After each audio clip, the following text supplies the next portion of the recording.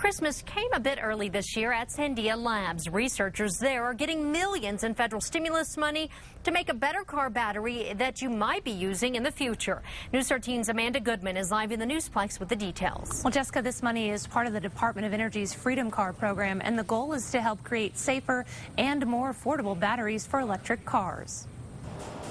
This is a job most little boys dream of.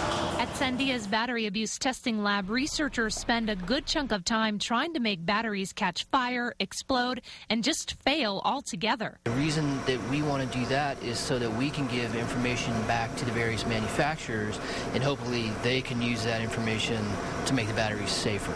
It's something they've been doing for more than 15 years, and with the help of 4.2 million in stimulus money, they're about to get a serious upgrade to their lab and more. Increase the uh, range of testing that we do and the type of batteries that we're able to test. Part of the money will allow Pete Roth and his team to focus on lithium ion batteries, which will soon be powering electric cars like the Chevy Volt. Right now, you can find lithium ion batteries in cell phones and laptops. These batteries then will allow uh, someone to drive your vehicle up to 40 miles on an all electric mode. But with all that power comes risks because they contain so much energy, they're hard to, to harness.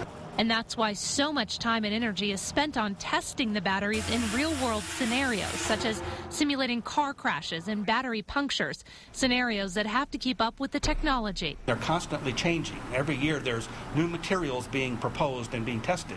And so the testing has to constantly keep up. Now, these batteries will be used in electric cars starting in 2011. Jessica, back to you. Okay, Amanda, the lab expects they will receive the money, money sometime next spring.